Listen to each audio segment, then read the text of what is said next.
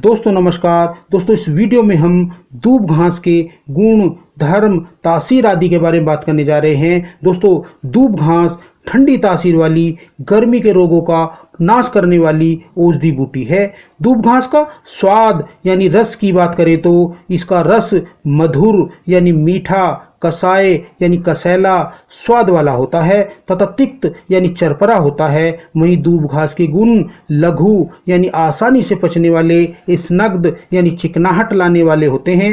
वहीं यह खूब ठंडी तरावट लाने वाली होती है।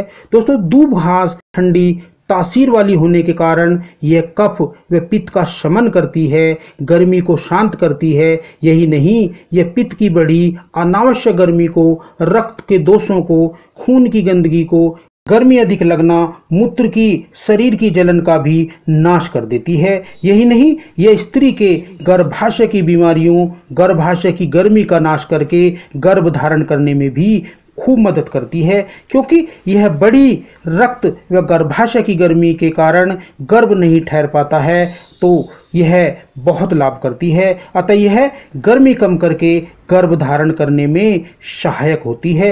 यही नहीं दूब घास, महीना आना, खून की उल्टी होना नक्शीरी छूटना खूनी बवासीर खूनी दस्तों में भी अद्भुत लाभकारी मानी गई है।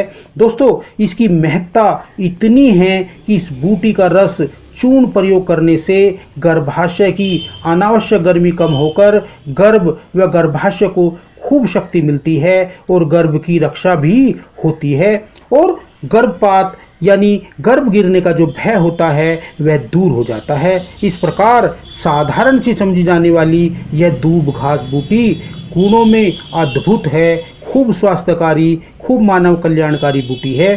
तो दोस्तों, जड़ी बूटियों का प्रयोग करें और अपने व अपने परिवार के स्वास्थ्य की रक्षा करें। अगली वीडियो में फिर मिलते हैं दूब घास के बारे में और अधिक जानकारी लेकर। तब तक के लिए नमस्कार, जय हिंद, जय आयुर्वेद।